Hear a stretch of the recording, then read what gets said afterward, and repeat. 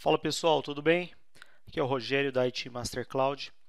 Nesse momento, pessoal, nós vamos iniciar a configuração de duas máquinas virtuais com a distribuição Debian. O nosso objetivo principal aqui é setar as máquinas com endereço IP fixo, ok?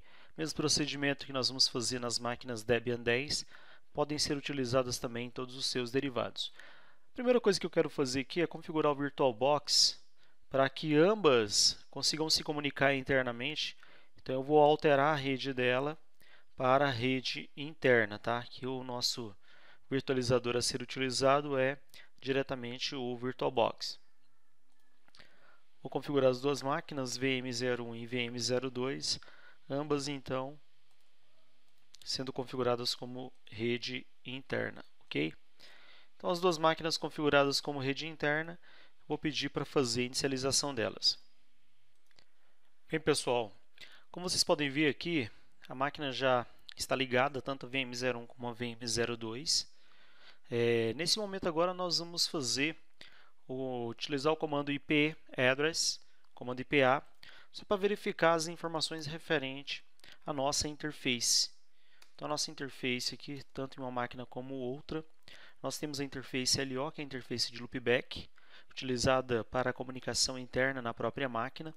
Ela está com o endereço 127.001 em ambas as máquinas. Não gera conflito porque ela faz a comunicação interna somente certo com ela mesma. Não há nenhum uso de interface Ethernet para esse dispositivo. E nós temos aqui o dispositivo NP0S3, que é o dispositivo que nós vamos fazer a configuração. Como vocês podem ver, é, nós temos aí uma nomenclatura diferente do que era utilizada no passado. No passado era utilizada ETH1230, que era de Ethernet, e o número de identificação de acordo com o sequencial.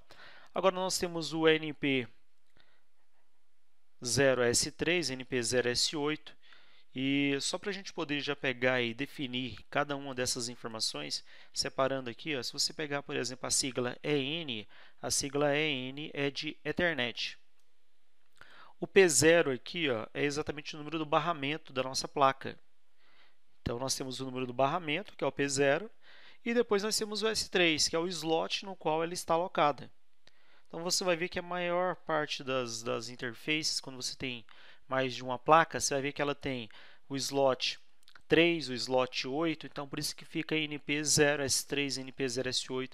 Muita gente pergunta por que não sequencial. Então, esse é o motivo pelo qual ele não é sequencial e sim você tem exatamente essas numerações.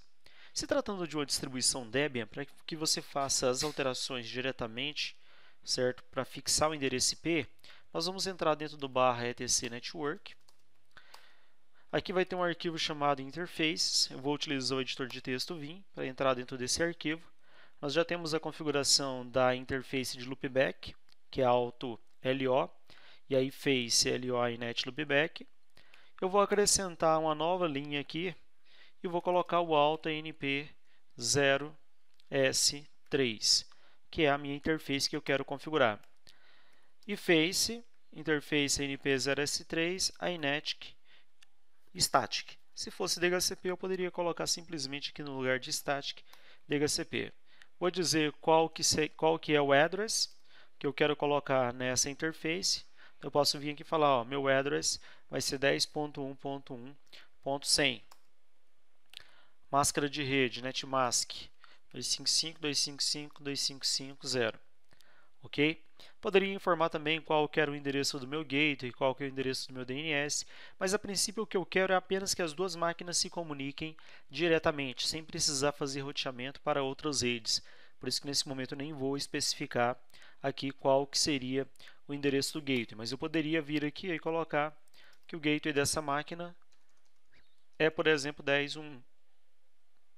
Seria uma possibilidade, tá?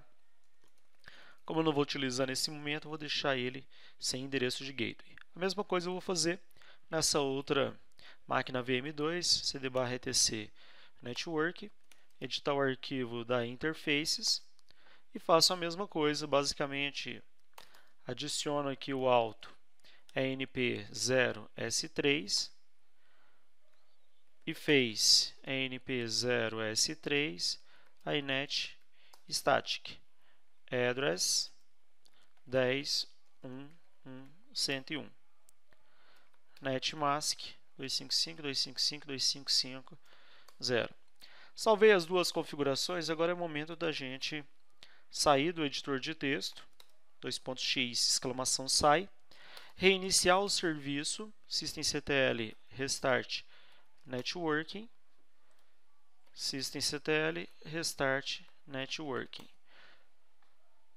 Aquela opção do alto é exatamente para quando eu reinicializar a minha máquina, ele já automaticamente ele já subir essas interfaces.